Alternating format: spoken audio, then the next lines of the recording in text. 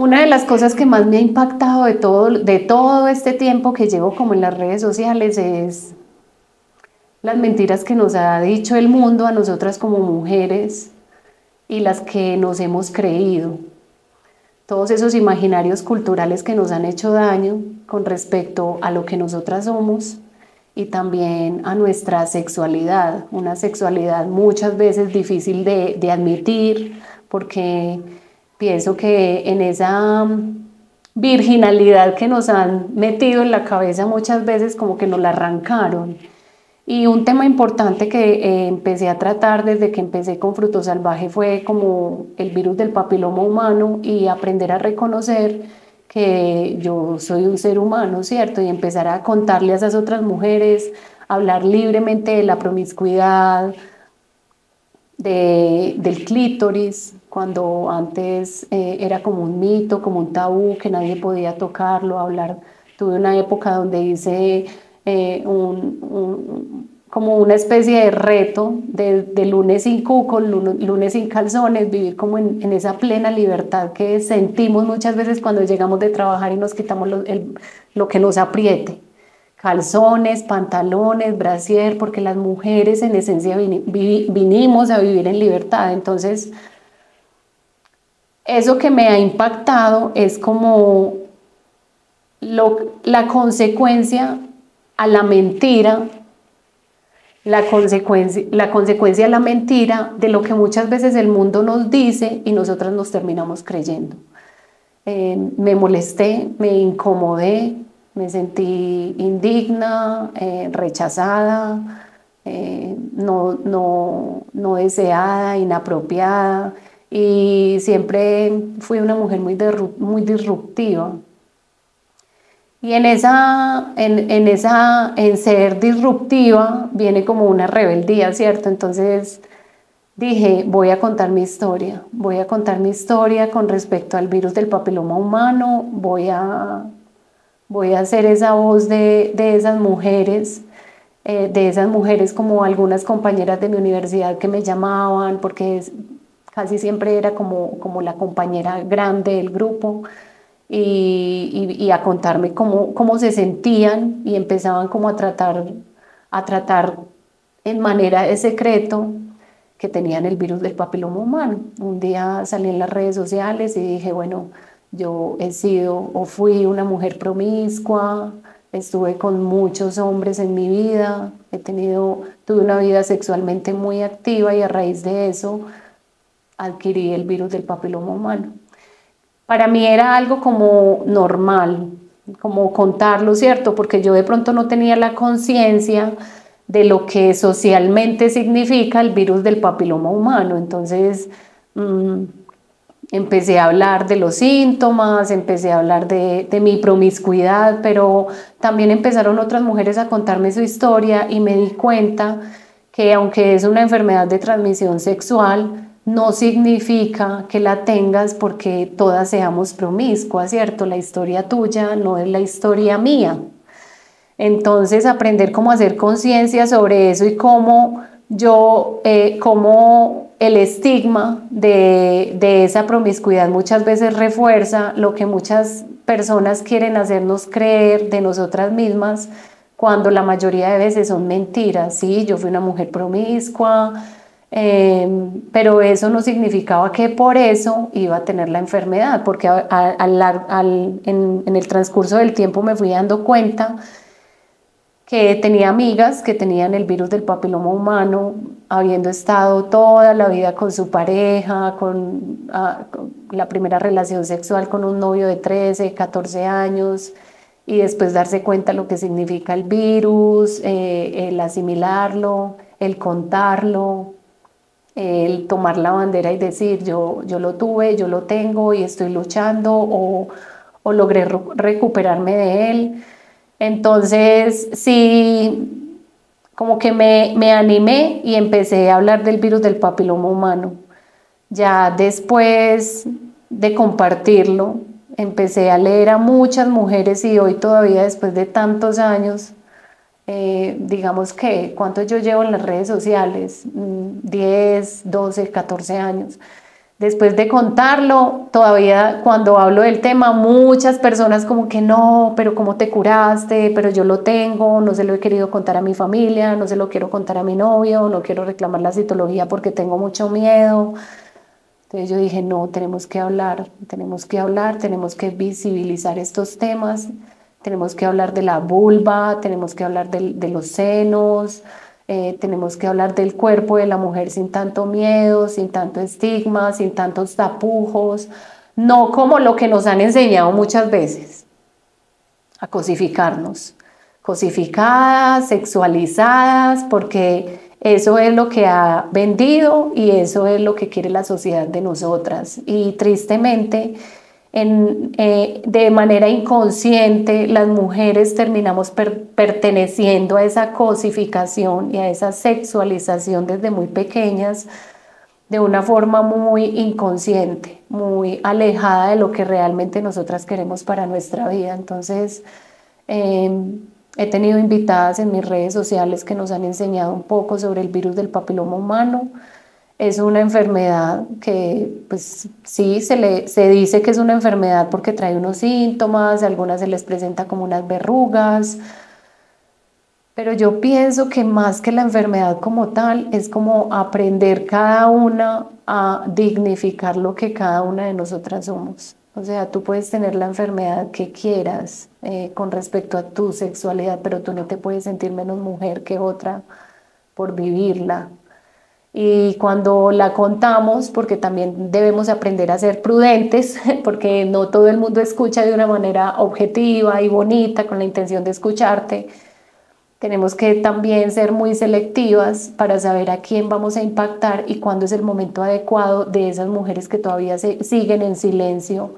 con temor de hablar desde su realidad. Entonces, desde el día que tomé la decisión de, de, hablarlo, de expresarlo. Lo hice con un objetivo claro y ese objetivo claro, clarísimo para mí es como empoderarnos, empezar a darle valor a nuestra historia, saber que lo que hemos vivido no, nos, no, no, no es como esa etiqueta que representa lo que yo en, en mi anchura y, y, y en, en mi anchura realmente soy entonces, mm, cuando hablé de esto por primera vez, fue como esa motivación, esa motivación para, para muchas mujeres, pero también una motivación para mí como Marcela Aristizábal para reencontrarme, para encaminarme, para buscarme en esa, en esa búsqueda que todas estamos en nuestro movimiento y en nuestra ciclicidad a lo largo del tiempo, de los años y saber que yo vengo de un lugar y que en ese lugar también he tenido la oportunidad de aprender desde mi experiencia y esa experiencia convertirla en dolor o en sabiduría. Cómo quiero edificar mi vida, cómo quiero edificar este castillo que estoy construyendo, eh, un castillo lleno de ruinas o un castillo lleno de experiencias bonitas que me dan la oportunidad de aprender para pasar a otro nivel en mi vida. Y yo pienso que uno de los niveles importantes en los que, a los que he llegado es como, como encontrarme, encontrarme cada vez que, que me he perdido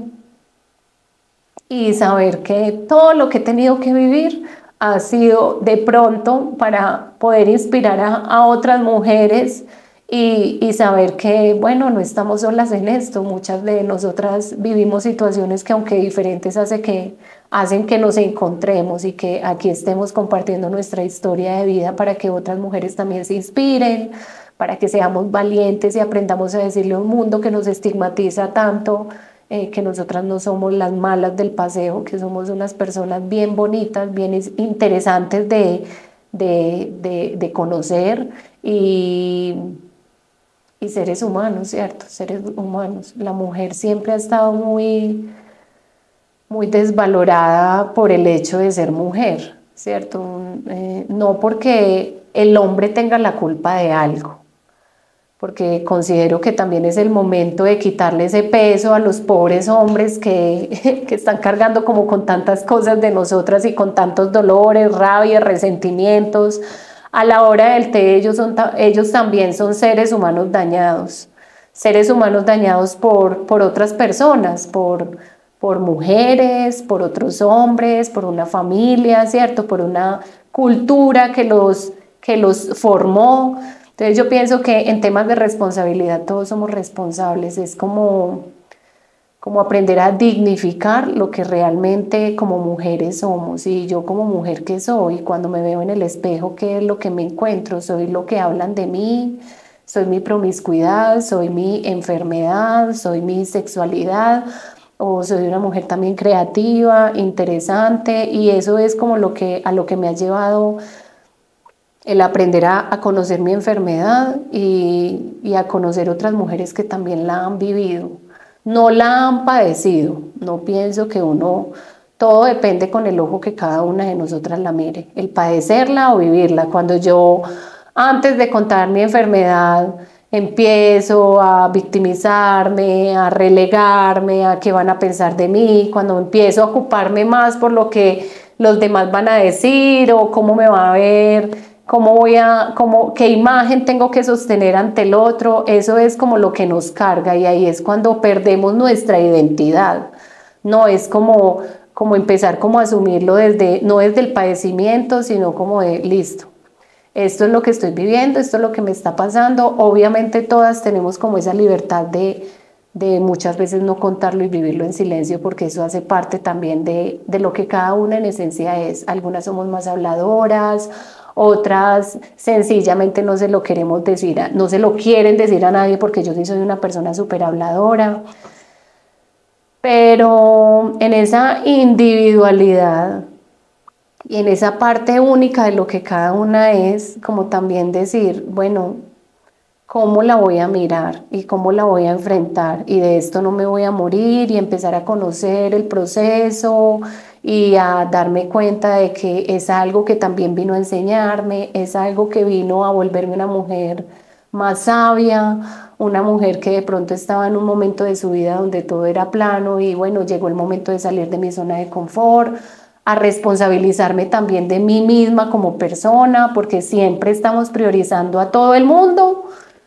y a nosotras nos dejamos de últimas. Primero mi hija, primero mi hijo, primero mi esposo, primero la casa, las que no tienen hijos ni esposo, primero la universidad, primero el proyecto, primero el trabajo. Y al final nosotras, y esa ha sido como una de las cosas más bonitas que me ha dejado este proceso y fue muy difícil darme cuenta que me había dejado de última no solamente en mi, en, mi parte física y emocional, sino de última para contar y de, de última para aceptar quién soy yo. Porque cuando tú tienes miedo de contarle a alguien porque te va a rechazar, porque te va a menospreciar, porque eh, van a tener una imagen diferente a lo que tú eres o que puedes pensar simplemente desde, desde la ignorancia, que sería como desconocer el tema, tú te estás dejando de última, tú no te estás priorizando. Priorizarte es, bueno, tengo, estamos viviendo esta situación, vamos a trabajarla y de qué manera la voy a tratar y cómo voy a empezar a, a informarme para no llenarme de miedo y de pánico por algo que ni siquiera conozco, porque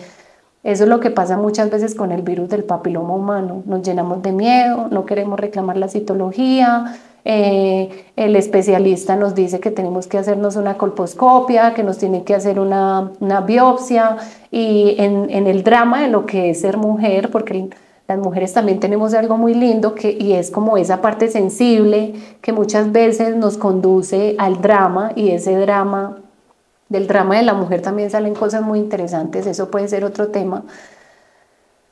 pero también como, como, bueno, listo, esto, esto es lo que hay, esto es lo que tengo, esto es lo que estoy viviendo, cómo lo voy a trabajar, cómo lo voy a conocer para no engancharme y empezar a dignificar mi historia de vida.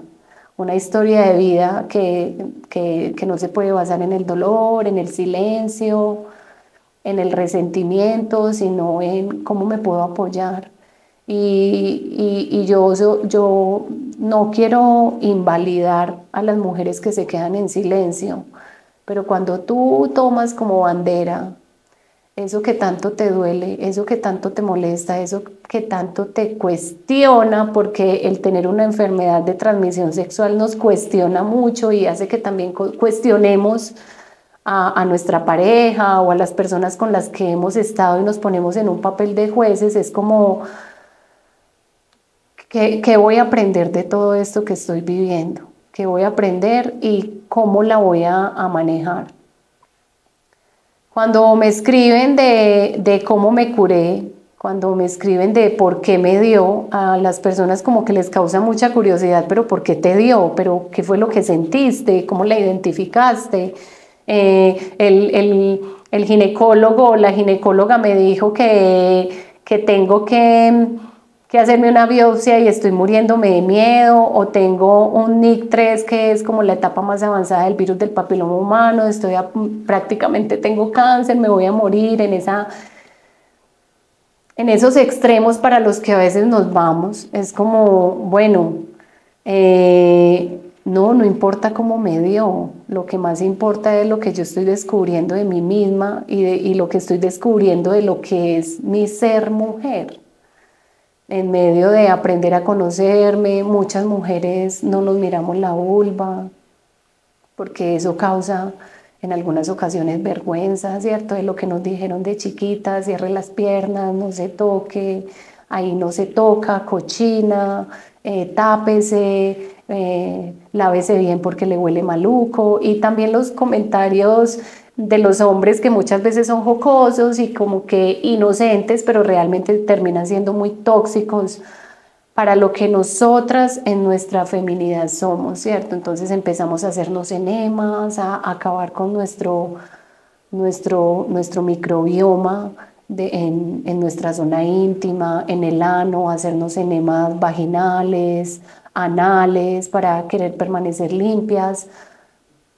el uso de los jabones, ¿cierto? El desconocimiento de que tenemos un órgano que se limpia solo, entonces entonces, ¿cómo aprendo a conocerme y cuál es, cuál es la mejor alternativa para ser respetuosa conmigo misma? Yo pienso que el virus del papiloma humano viene a decirnos, esto eres tú y esto es por lo que tú tienes que trabajar. Cuando yo me doy cuenta que tengo el virus del papiloma humano, empiezo a lavarme la vulva solamente con agua. Y fue como un reto grande para mí, lavarme la vulva solo con agua, porque yo sentía que, que, que, quedaba oliendo maluco, ¿cómo es posible que uno se va a lavar la vulva con agua, gas? Eso no es posible. Ya después tú empiezas a pasar como a otras etapas de tu cuidado personal. Ya de empiezas a ver tu flujo, a conocer tu flujo, ¿cierto? Porque también nos decían que el flujo era asqueroso, entonces como que, ¿cómo me voy a tocar ahí? O que la menstruación es asquerosa, entonces empiezas a romper unas puertas y a vivir otras etapas. Yo pasé de, lavarme la vulva con jabón, que fue a dejar el jabón vaginal, que fue todo un reto, pasé a lavármela solo con agua, a dejarla respirar, a quitarme los calzones, porque eso es algo importante, quitarnos los calzones, dejarla respirar, es el único órgano que el ser humano tiene expuesto porque los hombres tienen su prepucio para cubrir su pene, nosotras no y lo que medio nos protegía eran los pelos y muchas eh, se los han quitado, ¿cierto? Y, y, también a veces somos invasivas, somos porque yo también lo hago y también hago parte del paquete donde utilizo la máquina de afeitar o se, utiliza el láser, que los pelos lo que hacen son como un mecanismo de defensa para proteger ese órgano que está completamente expuesto. Entonces empezamos a vivir unas etapas ya después de los calzones, de quitarnos totalmente los calzones, a usar la copa menstrual, a perder el miedo a cambiárnosla en un baño público, untarnos de sangre, oler esa sangre que nos enseñaron a, a tenerle no solamente odio, yo pienso que más que odio fue como a desconocerla y sentir asco, asco por lo que nosotras mismas somos, o sea, Ahí, eh, las que, eh, en la copa menstrual, que cuando tu, tu sangre cae ahí, esa es la esencia de lo que tú realmente eres como mujer, de lo que yo realmente soy como mujer, de lo que yo huelo, a lo que, a lo que yo sé, sepo, a lo que yo sabo. Entonces, como que eso nos simplemente nos adentra a conocernos, a conocernos, a querernos explorar, a ver los cambios que tenemos en nuestro cuerpo, no solamente los cambios físicos, que son los que muchas veces nos atormentan, ¿cierto? La piel que se descuelga, todo lo que, todo lo que empieza a salirnos externamente a medida que nos vamos haciendo mujeres y vamos creciendo, sino también esos cambios internos que se ven muchas veces a través de esas partes tan íntimas como, como es la vulva, como es nuestra menstruación, cuando ya nuestra vulva no lubrica igual, cuando la menstruación cambia. Entonces yo pienso que el virus del papiloma humano es un maestro que vino a enseñarnos a muchas de nosotras que tenemos algo ahí y que tenemos que mirar lo que tenemos ahí y que tenemos que tocar lo que tenemos ahí. Pasan meses donde no nos vemos, donde cuando volvemos a encontrarnos, ahí como que desconocemos completa y absolutamente lo que está en medio de las piernas de nosotras, la vemos arrugada, la vemos torcida, la vemos y solamente es como para criticarla o sentimos vergüenza. Yo me acuerdo que la primera vez que yo me sentí cómoda sexualmente con una persona fue como con mi esposo, donde yo me pude abrir porque yo sentía vergüenza, yo sentía que olía mal, yo sentía que y, fue antes de darme cuenta de que tenía el virus del papiloma humano. Cuando yo me doy cuenta que tenía el virus del papiloma humano y que me tenían que operar porque me hicieron una conización y es que te estirpan parte de tu cuello uterino, eso no les pasa a todas, por eso es importante detectarlo a tiempo, pero más importante hacernos la citología y reclamarla, porque la mayoría de citologías no se reclaman. Entonces yo dije como, ay, esto es culpa mía. Entonces, imagínense que muchas de las citologías, esas citologías que no se reclaman, están a tiempo de tratar la enfermedad, está a tiempo de, yo duré por ahí 8 o 9 años con el virus del papiloma humano porque no es algo que tenga cura instantánea, de hecho ni siquiera... Eh, la vacuna es segura porque hay más de 100 cepas. Eh, yo fui vacunada cuando yo me doy cuenta que tengo eso, yo dije, pero ¿cómo así? Si en la yo me vacuné, además que fue un esfuerzo grande porque en esa época la vacuna no era gratuita, me tocó pagarla, eh, me apliqué las tres dosis juiciosa, me apliqué la que tenía un amplio espectro que cubría varias cepas. Cuando me doy cuenta que tengo el virus, yo digo, fue pucha, pero ¿por qué? Si yo he tratado de cuidarme. Entonces eh, lo acepté y me volví amiga de él y lo empecé, así como lo hablaba ahora, lo empecé a ver como ese maestro y, y hacer como ejercicios de autorreconocimiento. En todos esos años que tuve el virus del papiloma humano, donde sentía que tenía un papel en la frente y más cuando lo expuse en las redes sociales, eh, no me sentí, en la, pasaba algo muy, muy particular y es que en, en, Instagram y en las redes sociales me sentía como segura, como confiada, que lo puedo contar, porque recibía muchos mensajes por el interno de Marce, yo también lo tengo, no se lo quiero contar a nadie, he vivido lo mismo que tú, entonces me sentía como acompañada, como en equipo. Pero cuando estaba con mi esposo, yo decía, Dios mío, yo le voy a pegar esto a él, le van a salir verrugas, ¿cierto? Todo lo que nosotras buscamos en internet, porque además empezamos a buscar información en los lugares inadecuados. Yo considero que la mejor información, que, que la que más me nutrió como mujer, como persona, pero como mujer, fue haber encontrado otras mujeres que estuvieran viviendo el mismo proceso mío y en, ese encontrarme con esas otras mujeres también es como, como, como vernos en esa debilidad, en esa vulnerabilidad, más que debilidad, ¿cierto? Vulnerabilidad, encontrarnos en esa vulnerabilidad y reflejarnos la una a la otra, que realmente para eso fue para lo que nosotras fuimos llamadas, más que para la crítica, para la envidia, para esa destrucción masiva entre todas nosotras. Es como, bueno, ¿para qué fui llamada? ¿Para qué fui llamada con mi hermana? Acompañarme, a sentirme identificada en muchas cosas de su historia de vida, porque nunca una historia de vida va a ser igual a otra. Y a darnos como ese empujoncito, ese hágale que, hágale que sí vamos a poder, porque cuando las mujeres logramos encontrarnos en esa vulnerabilidad somos tan hermosas,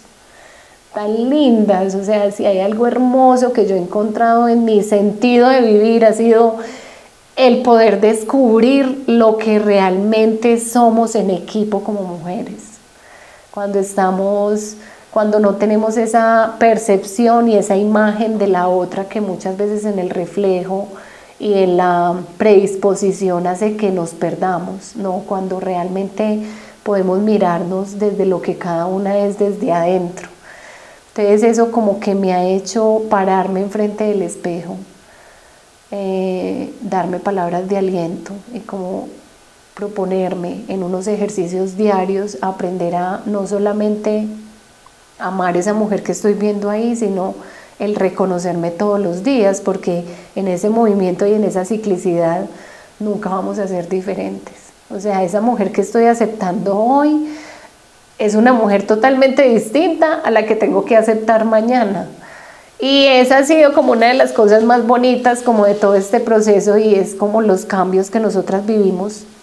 Y en ese tiempo, un tiempo tan largo de la enfermedad es como en esa paciencia de lo que yo estoy siendo todos los días y de lo que del valor que yo le estoy dando a esta mujer que estoy descubriendo. No es si mi pareja, no es qué va a pensar mi pareja, es lo que pienso yo no es si el cómo me va a tratar, es cómo me estoy tratando yo, porque no podemos dar de lo que no tenemos. Y si no nos tratamos con amor, no nos tratamos con respeto, no nos tratamos con dignidad, que esa es una palabra que a mí me encanta, cómo dignifico mi vida y mi historia, no podemos pedirle a mi, a mi compañero, a mi amiga o a mi mamá que me trate con amor y con respeto. Tengo que empezar a tratarme con amor y con respeto yo y a reconocer esta mujer que crece todos los días y que va madurando, que la madurez también es un proceso como duro de aceptar,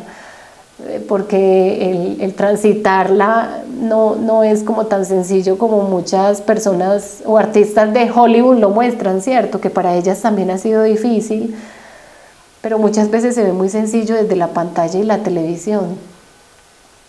pararnos enfrente del espejo, reconocernos y aprender a acariciar ese gordito, la celulitis, el rabo, cuando hablábamos, me veo y chupo barriga y me tuerzo la barriga y tengo un culo caído y yo, ah, el peso y, y, me gustaría, por ejemplo, cuando yo tuve a mi hijo mayor, una de las cosas que más me ha complejado es que yo, yo tuve a mi hijo muy joven, muy niña, y quedé con muchas estrías al lado junto a mi vulva, o sea, yo decía, pero, o sea, como estrías así rasgadas, grandes, y era algo que a mí me acomplejaba tanto. Y empecé a mirarme enfrente del espejo y decir, esto soy yo, estas son mis estrías, y empezar como a, reinventar esa historia de lo que yo había creído de lo que era una estría. No porque otros me lo hubieran obligado a creer, porque también tenemos que empezar a cambiar ese discurso dentro de nosotras. No es la sociedad la que nos impone, soy yo la que me impongo, soy yo. Soy yo la que hablo de, de lo que estoy viviendo con miedo, con temor, con vergüenza, con rechazo, porque dependiendo de cómo yo lo haga, los demás lo van a mirar también. Entonces, ¿cómo vamos a cambiar el discurso hacia nosotras mismas? ¿Cómo vamos a empezar a ver el virus del papiloma humano no como, no, como una enfermedad, de una enfermedad venérea, no como la, la, enferma o como la, ¿cómo se le dice? La, la, que se contagió, la cochina, la puerca, la puta, ¿cierto? Porque eso es lo que muchas veces el fantasma de la cabeza nos quiere hacer creer, sino como esa mujer que todos los días está construyendo a sí misma desde la resiliencia, que combate la procrastinación y que trabaja no para competir tampoco contra ella misma, sino para aceptar y encontrarse con la mujer que, en la que se convierte todos los días y que está aprendiendo a amar esa mujer a la que está viendo su hija, esa mujer a la que está, porque es que muchas veces en, todo eso que nos pasa nos, nos vemos invisibles. Y no, a nosotras nos ven, nos ve nuestra hija, o sea, no tienen que ser, no, no hay que ser una Marcela Aristizábal o tener más de 20 mil seguidores para darnos cuenta que nos ven y nos ven otras niñas y cómo estoy impactando a esas niñas que me están viendo a 50 metros todos los días, a esas niñas que me están viendo a 100, porque la, si, si yo no tengo hijas, pero tengo sobrinas, las amigas de mis sobrinas también me ven, cómo me están viendo como una mujer insegura o si no me están viendo porque otra mujer no me ve, porque estoy siendo invisible. Entonces como empezar a visibilizarme como persona, a reconocerme y a darme cuenta que yo soy un ser humano valioso y que ninguna enfermedad me va a definir. Entonces, más que cómo he trabajado el virus del papiloma humano es que ha traído el virus del papiloma humano a mi vida como persona y mucho que agradecer, mucho que agradecer en los procesos, en la vulnerabilidad y en el poderme reflejar con otras. Entonces, esperando siempre que, a, que las mujeres las impacte, las impacte de una manera positiva la historia que cada una de nosotras tiene para compartir, porque esa historia también la estoy dignificando yo. No, pero es que no sé cómo haces para, hablar con tanta frescura, para hablar tan tranquilamente de algo que es tan difícil, yo lo vivo y todavía no he sido capaz, me siento mal, me siento incómoda, eh, no sé si me voy a morir, ¿cierto? Porque esa vulnerabilidad de la muerte también entra ahí. No, es, es todo lo que ha traído el poder llegar aquí y contarle a otra, yo lo viví, yo también lo padecí, lo padecí desde ese miedo, desde ese dolor, pero ya ahora eh, lo podría hasta decir que lo disfruté en el proceso de sanarme, fue como el aprender a encontrarme. Y ese disfrute también hizo, de ese disfrute también hicieron parte lágrimas, eh, hizo parte mucha vergüenza, o sea, sacar de mi vida cosas duras, traumas, ¿cierto? Yo siempre fui como esa niña pícara, de ojos pícaros, esa lunarejita bonita, pero a la,